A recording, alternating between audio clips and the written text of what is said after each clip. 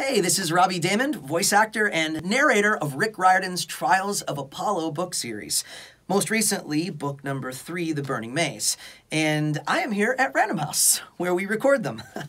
um, I love narrating fiction, uh, especially young adult fiction. And the cool part about it is you get to tell these really great stories uh, encapsulated in time that are either standalone or part of a much bigger world.